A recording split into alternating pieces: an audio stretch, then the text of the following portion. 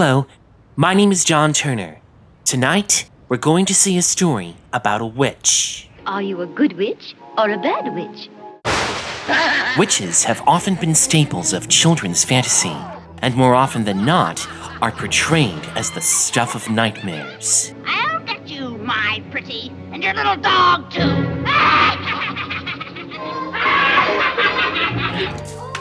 Fortunately, there are other stories which present witches in a favorable light. One such movie is Kiki's Delivery Service, directed by a Japanese animator named Hayao Miyazaki and produced here at Studio Ghibli in Tokyo. Nowadays, Miyazaki is remembered for epic movies such as Princess Mononoke, Spirited Away, and Howl's Moving Castle. But there was a time when Miyazaki wasn't well known even in his native country of Japan. Although the director's 1984 epic Nausicaa of the Valley of the Wind was successful, his subsequent movies Castle in the Sky and My Neighbor Totoro, while praised, didn't exactly light up the box office. But with Kiki's Delivery Service, Miyazaki finally became a household name. Released in Japan on July 29, 1989, the film was the highest grossing animated movie of its year.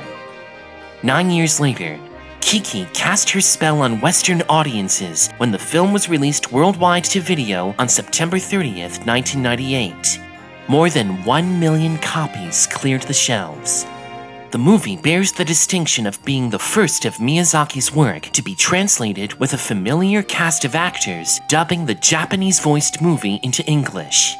One of these actors was Saturday Night Live veteran Phil Hartman, whose role as Kiki's pet cat Jiji would be his last before his unexpected death. Kiki, look, it's me! What isn't widely known to most audiences is that Kiki's Delivery Service is based on a children's book penned in 1985 by Japanese author Eiko Kadono. The book struck a chord with many readers in Japan, and over time, five sequels followed. Miyazaki spoke highly of Kadono's book, believing that it provided an affectionate depiction of the hopes and spirit of today's girls struggling to become independent. In adapting the novel to the screen, however, some changes had to be made. The book is a series of misadventures involving Kiki and Jiji, and there are no instances of internal conflict. To provide his movie with a realistic edge, Miyazaki has Kiki struggling to answer a question she asks herself early on in the movie so that audiences could relate to her. What's my skill? As can be expected in a Miyazaki movie, there are plenty of scenes which set in the sky. But most of the action in Kiki's delivery service sets in a fictional city called Koriko, which, as you can see, looks distinctively European. The reason has to do with a past experience on Miyazaki's part. In 1971, he traveled to Sweden, hoping to obtain permission to adapt Astrid Lindgren's Pippi Longstocking books to animation. It didn't work out, but the trip still left a huge impression on Miyazaki. 17 years after that first trip to Sweden, Miyazaki and his staff visited Visby and Stockholm on a research trip. More than 80 rolls of photography were captured. These photos were used as inspiration to bring the city to life. It's also why many of the locations that you see in the finished film resemble their real-life counterparts. Contributions to the project occasionally came from Japan as well. For instance, later on in the film, Kiki discovers a mysterious painting.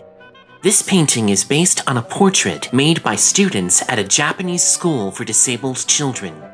Miyazaki obtained permission to use this painting while adding a familiar human face to it. Why all this for an animated movie aimed at kids? Because Kiki's Delivery Service isn't just a children's movie. It's a movie that appeals to audiences of any age. Oh, one last thing. When the film's closing credits begin, don't get out of your seat.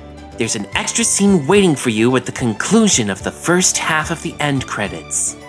Now we invite you to sit back in your seats as we transport you to the magical world of Kiki's Delivery Service. Enjoy!